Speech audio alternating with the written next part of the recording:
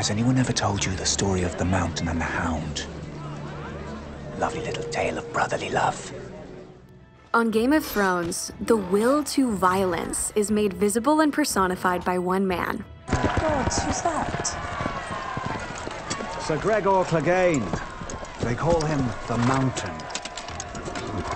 The knight who's Tywin Lannister's enforcer and then Cersei Lannister's bodyguard is not a complicated guy. He's strong, angry, and loves to torture and kill. Does he frighten you so much? I'd be a bloody fool if he didn't frighten me. He's freakish big and freakish strong. The fact that he's drawn so simply, and even played by three different actors over the course of the series, makes him a walking symbol of violence and brutality. When Cersei utters her most defining line, I choose violence. that violence is embodied by the man beside her. Through the mountain's presence in the story and the way he transforms from a mad animal to a cold zombie, Game of Thrones offers us a study of brutality and its impact on the world.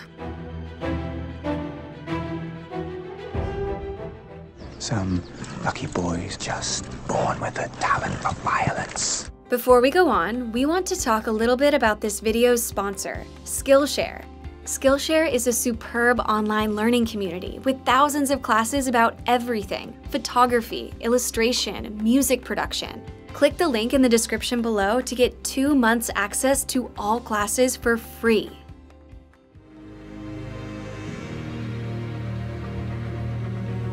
The defining aspects of Gregor's personality speak to the question of what violence is and where this impulse comes from. One of Gregor's fundamental traits is that he's full of rage. As a child, he stuck his brother Sandor's face in the fire just for playing with his toy. Gregor never said a word. He just grabbed his brother by the scruff of his neck and shoved his face into the burning coals. His servants have been known to go missing, and his sister and father also had suspicious deaths. There's an implication Gregor likely killed them and then inherited his father's estate. These stories tell us that, emotionally, the Mountain is an overgrown, bratty child who can't handle it when the tiniest thing doesn't go his way. Thought I stole one of his toys. I didn't steal it, I was just playing with it. So he illustrates the way that violence is born of anger. If we never learn to control or deal with not being able to have everything exactly as we'd like it, then we resort to force to make the world bend to our will. If we look closer at Cersei, who also chooses violence, we can see that she too is driven by rage. Her life has given her a lot to be mad about. Your sister was a corpse and I was a living girl, and he loved her more than me. But Cersei's anger is more fundamental. It stems from her being born a girl in a world that detests women. You don't hurt little girls in Dorne. Everywhere in the world, they hurt little girls. And that anger intensifies after she receives the prophecy that traps her in a life of misery she's powerless to evade. Gold. Her shrouds. The valid causes for Cersei's rage make her tragic. But whatever the cause, excessive anger is a kind of insanity. It reorients the entire world around oneself. No one walks away from me. She's framed everything in her head as a question of whether a person perfectly serves her. So even Jaime caring about the future of humankind is a betrayal. I pledged to ride north. I intend to honor that pledge. And that would be treason. This total self centeredness leads ultimately to evil, as it seeks to violently remake the world according to one's whims, or else wills it to nothing. So I don't care about making the world a better place. Hang the world. Despite the fact that he's a knight, the Mountain is the most dishonorable man in Westeros, which symbolizes that there is no honor in violence. Who am I fighting? Does it matter? When we're introduced to the Mountain at a joust in season 1, he angrily tries to kill Loras Tyrell for outsmarting him by distracting his stallion with a mare in heat. Loras knew his mare was in heat.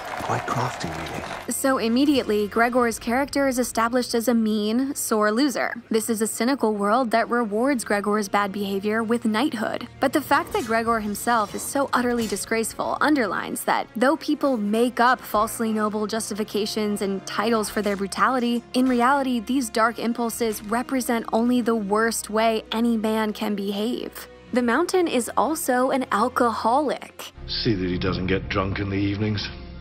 He's poor company when he's sober, but he's better at his work. And this reminds us of the way drinking can bring out rage and violence in people with those tendencies. The Mountain doesn't just inflict harm out of anger, he enjoys torturing and killing, telling us that violence can be addictive and yield a perverse pleasure. He has fun toying with the prisoners of Harrenhal, After he carries out his orders to murder Rhaegar and Elia Martell's son and daughter, he chooses to rape their mother while he's covered in the gore of her dead children before killing her. This relish for cruelty also reveals something important about the Lannisters. For them, too, brutality is not just a means to the end. Tywin and Cersei take pleasure in hurting others. Only for them, psychological violence can sometimes be even more satisfying.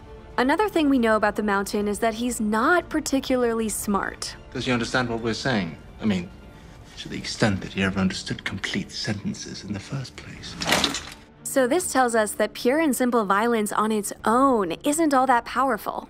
I wanted him to chase us, which he would have done because he is a mad dog without a strategic thought in his head. The Mountain's force has to be harnessed by the Lannisters' intelligent strategy in order to become truly fearsome. While the Mountain is not the sharpest tool in the shed generally, he does have an instinctive understanding of people's weaknesses, revealing that violence has an animalistic insight to it. One of the character's biggest moments comes when he fights Oberyn Martell in The Mountain and the Viper.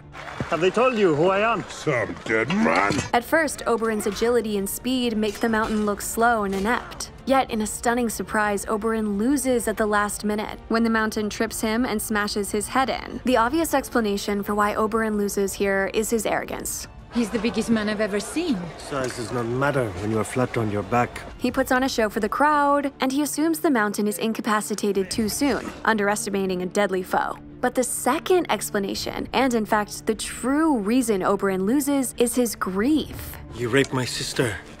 You murdered her. You killed her children. We see him start to get panicked when he thinks that the mountain may die before admitting his war crimes against Elia Martell. Wait, are you dying? No, no, no, you can't die yet. You haven't confessed. He's obsessed with getting the mountain's confession and bringing down Tywin Lannister. Who gave you the order? And he starts to feel hysterical when he thinks the mountain may die before providing this emotional closure. Say her name! So the mountain seizes on Oberyn's desperation. He withholds what his opponent wants, stirring him into a terror. And then, as he makes his final move, he delivers that longed for confession as a taunt to make the violence hurt even more, proving his innate instinct for how to destroy people. I killed her children. I raped her. Then I smashed her head in like this. This moment of the mountain's victory is so bone chilling because it reminds us that this is a world where justice is so often not served. Those who seek to right terrible wrongs are crushed, while the brutish, evil violence that the mountain represents triumphs time after time. I always thought you had a talent for violence. Burn the villages, burn the farms. Let them know what it means to choose the wrong side.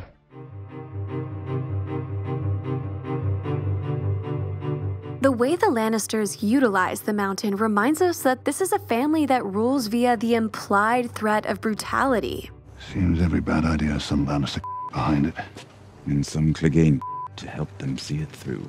In key moments of Lannister victories, the mountain is there. The figure's centrality to their regime exposes that while they claim nobility and legitimacy as rulers, they're essentially thugs. The rule of force is their bottom line. So I cut the blacksmith in two. Saw him take the head off a horse with a single swing of his sword. That sounds like someone we know. At first, the mountain is known as Tywin Lannister's Mad Dog. I've heard him called Tywin Lannister's Mad Dog. Tywin keeps his own hands clean, but he uses the mountain for the darkest, most evil acts imaginable to get his way. The mountain follows your orders. Of course, I blame you. At the same time, Tywin is always strategic, so he will hold the mountain back from totally senseless violence. Like when he stops Gregor from continuing to torture and kill the prisoners at Harrenhal for no reason. Can afford to discard able young bodies and skilled laborers. Notice Tywin's logic here. He objects to these men being killed and tortured only because they have another usefulness to him. Later, when the mountain leaves Harrenhal, he executes the remaining prisoners, and we can infer that as the prisoners have no more use, Tywin either didn't mind or approved, as he must have assumed his mad dog would do this, even if he didn't directly order it. If the mountain committed an atrocity, it was with Tywin's at least his permission and, and possibly his direct command. After the Mountain and the Viper fight, Oberyn manages to get his posthumous revenge through the poison on his spear. As Tywin's now dead, Cersei gives Qyburn the go-ahead to bring Gregor back to life as a Frankenstein-like monster. The process may change him. Somewhat. Will it weaken him? Oh no. Very well then. The Mountain 2.0 serves as Cersei's loyal bodyguard. In the books, he has a different name, Sir Robert Strong. This zombie like incarnation of the Mountain represents a new, more virulent version of violence. Whereas before he was the mad dog, the animalistic brute fueled by rage and bloodlust, now he's the quiet zombie, soulless, obedient, and even stronger than before.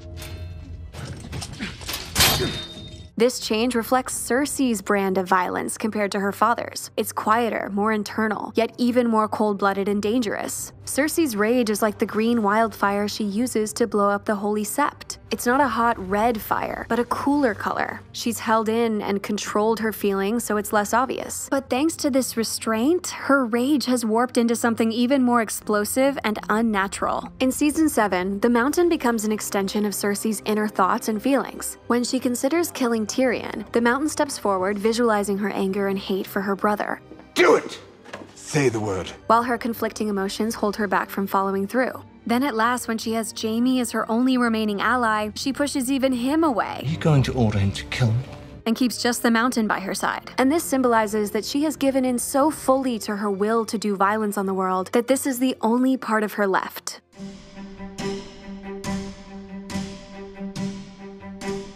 The Mountain's key relationship in the story is with his brother Sandor, aka the Hound, and these two brothers are bound by hatred.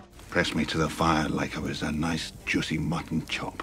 The wounded hound illustrates the psychological impact of violence on its victim. He displays symptoms of PTSD. Just as he bears the scars of what his brother did on his face, he carries the emotional scars deep within.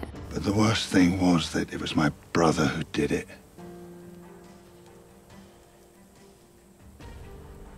My father who protected him. Despite what an awful person his brother is, Sandor has watched Gregor become a knight. So, because he's seen the worst of humanity in his brother and seen that worst thing rewarded in society, he believes two basic things that people are fundamentally bad, and that the worse you are, the easier it is to succeed in this world. The world is built by killers.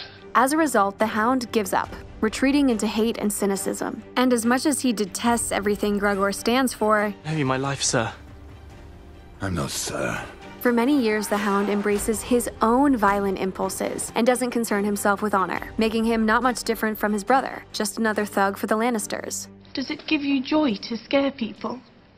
No, it gives me joy to kill people. He gets the Hound name not only because he's fierce, but also because he does his master's bidding without question. He ran. Not very fast. The Hound may believe that he's just being honest in a terrible world, Plenty worse than me. I just understand the way things are. but he's become as bad as that world by not fighting it. So in Sandor, we see a profile of the victim of violence who tragically ends up adopting that violence as a result of their trauma. Hate's as good a thing as any to keep a person going. Better than most. Over time, though, his cynicism isn't enough to swallow up his better nature. When he sees good people threatened, like Sansa and Arya, he reveals an instinct to do the honorable thing and eventually stops denying that it matters to be on the right side. The Hound's one great fear is fire, representing the way his childhood trauma continues to define him. Yet in season 7, he ends up again with the Lord of Light worshippers in the Brotherhood. It's my fing luck I end up with a band of fire worshippers. And Sandor sees a vision in the fire. What do you see? Ice. A wall of ice. So the symbolism here is that while he's been fleeing the source of his pain, in fact, the universe is pushing him to open up and look toward it. By finally facing the fire he's experienced, he has a breakthrough. He can at last look beyond his hurt toward a greater purpose. One of the main fan anticipations when it comes to the mountain is what's called the Clegane Bowl theory, which is basically just that the hound and the mountain will fight. Remember me? Yeah, you do. The two men are significant foils of each other, as the abuser versus victim, and as the unrepentant, dishonorable man versus the reformed, honorable one, who both share an inclination for violence. There's an interesting parallel in the fact that both brothers have very nearly died, or arguably have died, and come back changed. When I found you, I thought you'd been dead for days. The hound was either comatose or actually did die before being mysteriously revived. I was going to give you a proper burial, and then you coughed. And the mountain was considered a goner until he was revived by Qyburn's dark science. What did you do to him exactly? I haven't been able to get a clear answer. Oh, uh, a number of things. Yet while one has been brought back by an unknown higher power, presumably to serve a greater purpose, the other is revived by unnatural means, only to serve Cersei. The old Gregor doesn't seem to be fully there. If it please your grace, he has taken a holy vow of silence.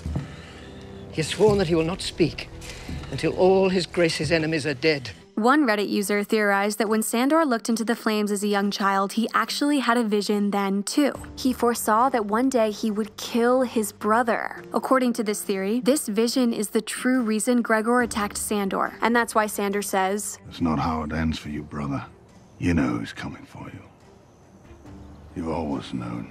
This would make Gregor much more like Cersei. His original anger would stem from powerlessness and from the terrible certainty of seeing a hellish future he can't escape. Looking into the red, sad looking eyes of the new mountain, we might observe that the impulse to do violence betrays a deep inner hurt. We might even feel the slightest bit of pity for the despicable mountain, because at his core, this man who is violence incarnate must be one big ball of constant, howling pain. You're fucking uglier than I am now.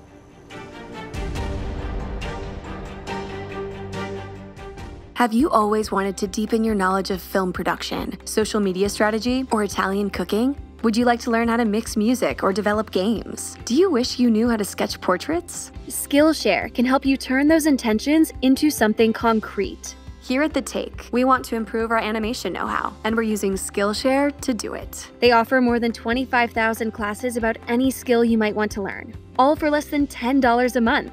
Right now, you can get two months access to all their classes for free.